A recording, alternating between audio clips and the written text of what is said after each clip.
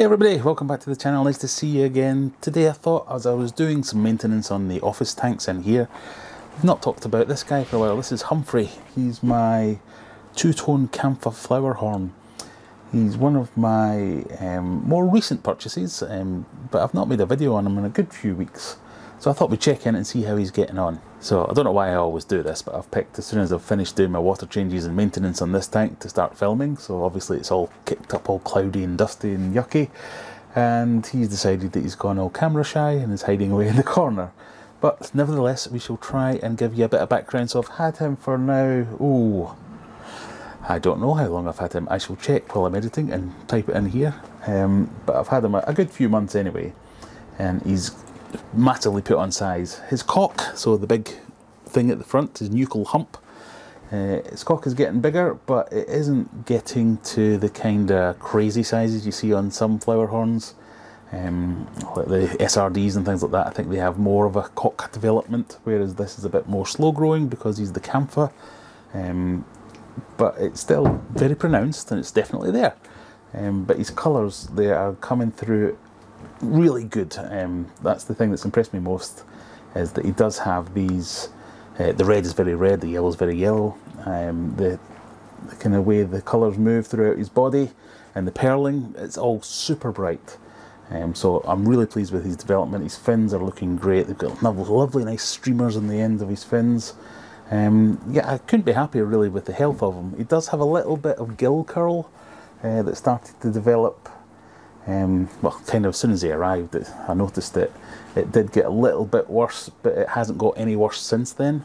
Um, gill curl can be either something that's genetic, um, which is a bit of a pitfall for these kind of hybrid fish because they are hybrid fish, so they are more prone to genetic deformities and things like that.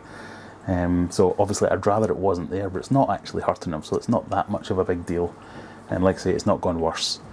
It could also be down to things like water quality and your water parameters and that, but that's not the case in this one because I know the water quality in here is fine. Um, the nitrates have never got too high, there's never any traces of ammonia. I do test quite regularly. I've even got a monitor, like a constant monitor on here. This is my Felix Smart. Um, I'll talk about that a bit in a minute. So I always know what's going on in this tank, so it's definitely not that. Um, but like I say, it's more of a cosmetic thing, so it's an aesthetic thing rather than a, a health thing because it's not hurting them, it's not stopping them eating or stopping them growing or anything like that. I could do surgery on it if I wanted to, to kind of shave it back and cut it back, but I think that's a bit extreme for something that's purely aesthetic. So he lives in here on his own now. In the previous videos, I had him in here with a Senegal Bichir, uh, and they were fine. They did get on, but I did catch him I did catch him beating the crap out of him one day. So I've moved the bichir downstairs. He's now back in the fish room, and this guy's in here all on his own. I, I thought that might be the case anyway. Um, it was more of a trial for me to make sure it was something that I could check before I was comfortable with. And as I'm in this room every day, I work from here, I work from this room. Uh, I spend almost all day in this room. So I'm always here able to see and able to catch it if anything does happen. So there were a few altercations, a bit of chasing. I kept an eye on it a bit more, and then he went for it. So separated them, took them downstairs. There are still some um, bristlenose plecos in here. They seem to be fine, and he ignores them pretty much. Um, plus, they can get in amongst all these rocks and the nooks and crannies and hide away if they need to. Um, so that seems to be okay. So keeping him on his own, not such a big deal. Um, the tank itself, this is an old Hockney tank. It's like it's a really old tank. Um, it's just shy of three feet squared, so it's quite a big footprint and quite a large water volume. Um, I still think it's just about on the cusp for him, so I am thinking of moving him into a new tank in the fish room that I might get. But we'll see how we get on with that. I'm going to keep an eye on him a bit longer and see how he gets on when he gets a little bit bigger. Still plenty of space. I might remove all these rocks next. That's probably the next thing to do is just to give them a bit more swimming space. Um, so like I say, it's just shy of three foot this way, three foot that way. There's a sump at the back. I don't know if you can see that here, but this is an internal filter. So the intake's on that side. It goes down to the bottom, draws in from the bottom here, goes up, down, up, down, and then pumps back out here. And on here, I've got one of those vortex spinning pumps So it just kind of randomly generates the flow and keeps the flow going. He does like to play in that sometimes. I've noticed him playing around with it. He does like to attack it. And speaking of attacking things, he does like to attack me quite a lot. So it's healed now, but he took a chunk out of my finger a couple of weeks ago while I was in there doing stuff. He's very playful. Um, it's one of the things about the flower horns is, um, I think I've said it before in another video, my favourite fish obviously is discus because that's the fish that got me into the hobby. I've always kept discus and I love them. I think they're great, but discus are very much the cats of the aquatic side of the hobby where they don't really care if you exist or not. As long as you feed them, they're happy. They just float away serenely, quite the thing. Um, whereas this is like the puppy. This is the dog of the aquatic world. He's always up wanting to play with you. He plays little hide and seek games with me where I'll sit over here working. So my view is actually into this side of the tank, which is blocked a little bit by my printer here. But he'll come along, he'll peek out and wait for me to see him. And as soon as I turn around to see him, he darts straight back in again. So we play a little bit of a game of hide and seek sometimes.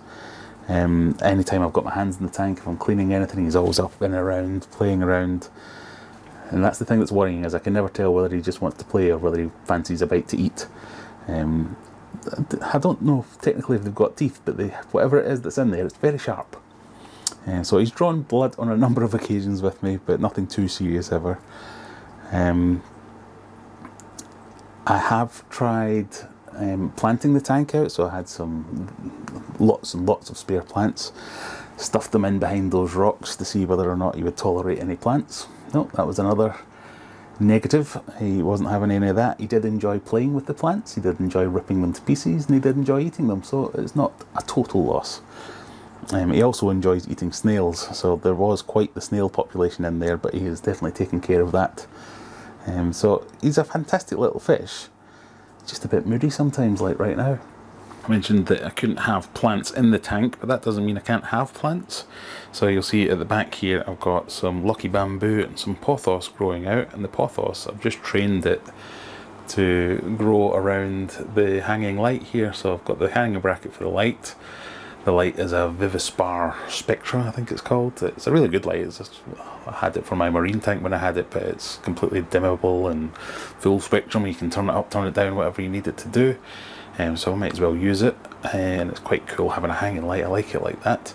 But it makes this like a bit of living art in and of itself. So eventually, as this goes round and round and round and round and round, it'll just be um, quite the spectacle and it's really healthy as well so it's definitely doing the job sucking up a ton of nitrates for me all the leaves are big massive leaves all look really healthy um, does a great job and this is the Felix that I mentioned earlier it's basically a, a smart controller for your aquarium. So it's eight plug sockets some USB sockets that you can fully control anything whether it's your um, the time your lights come on, your heater, It's connected to a Seneye monitor so it can tell me the temperature, the pH, the light readings, all manner of things. Um, and loads and loads of new features coming out. So I am going to make a follow-up video on the Felix soon so make sure you click the subscribe button if you want to see that. Um, there's a load of new features that have come along for this thing um, continues to impress me and more than just because it's got the Knight Rider light at the front uh, and then we can talk a little bit about food um, so this is what Humphrey gets. This is my new favourite invention here. I've had a few disasters recently of, in fact I'll show you. If I get tubs like this, generally I buy all my fish food in bulk because I get through so much and then I transfer it into little tubs like this.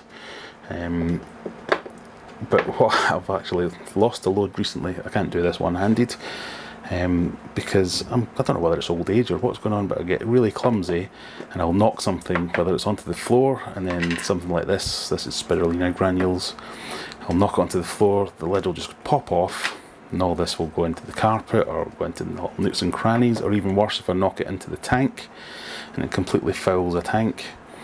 Um, so I've done it so many times recently, it's started to really do my head in. So I've been looking for tubs like this with proper screw lids. Um, so this lid is never coming off. In fact, I've just tightened it there, going the wrong way, Graham. Um,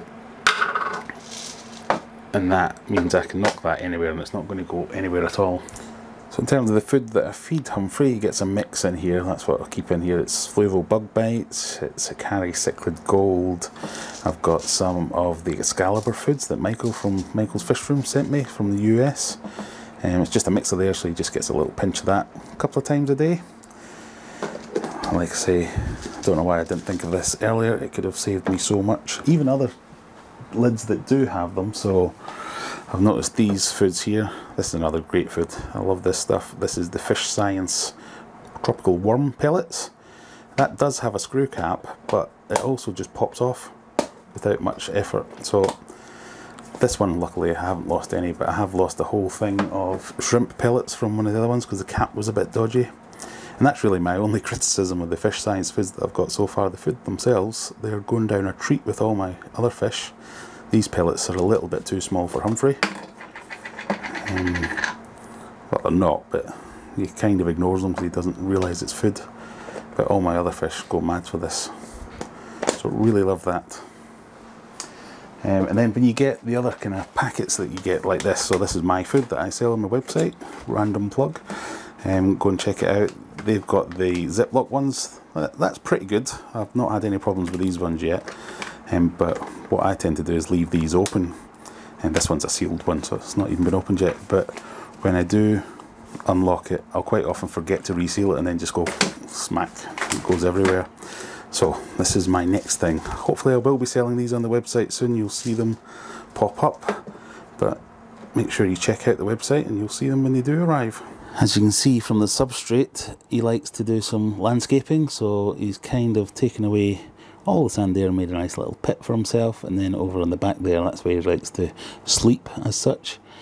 He's cleared that out as well so he will move things around. So if you are going to have decorations with a flower horn you really need to be careful of not piling up rocks like this for instance because if he digs around at the substrate that they can all collapse. Those ones are all secure so we're good to go there.